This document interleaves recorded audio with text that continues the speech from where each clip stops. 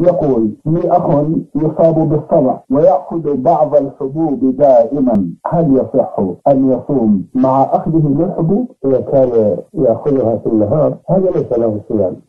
إذا كان قصده أنه يأخذها في النهار فهذا لا يصوم يفطر فإن شفي في المستقبل كان يرجى شفاؤه في المستقبل فإنه يقضي ما أفطره. قوله تعالى ومن كان منكم مريضا أو على سفر فعدة من أيام أخرى. أما إذا كان هذا المرض مستمرا معه ويحتاج إلى العلاج بصفة دائمة ليلا ونهارا ولا يتمكن من الصيام لا أداء ولا قضاء فهذا يكفي أن يطعم عن كل يوم مسكينا. مقدار نصف الصاع من الطعام يدفعه للفقير سواء جمع الأيام التي عليه ودفعها دفعة واحدة أو دفعها مفرقة وسواء أعطاها لشخص واحد أو لعدة أشخاص. قوله تعالى وعلى الذين يطيقونه فدية طعام مسكين. بمعنى يطيقونه يعني يشق عليهم الصيام لمرض مزمن أو لكبر وهرم لكن عقولهم معهم. فهؤلاء يطعمون عن كل يوم مسكينا ويكفيهم ذلك عن الصيام. نعم. جزاكم الله خيرا وأحسن إليكم. شيخ صالح هل ترشدونه إلى استعمال هذه الحبوب ليلا بدل من استعمالها نهارا؟ إذا كان